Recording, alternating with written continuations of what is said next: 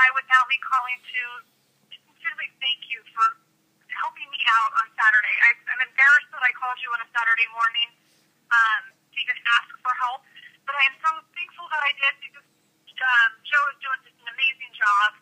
We have really enjoyed working with him, and things seem to be running in the right direction. I think my house is going to be destroyed for a while, but that's okay.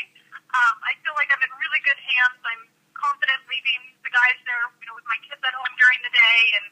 um, he's just been great communicating everything to us. So I just wanted to give that feedback and sincerely thank you so much for helping me out in my time of need.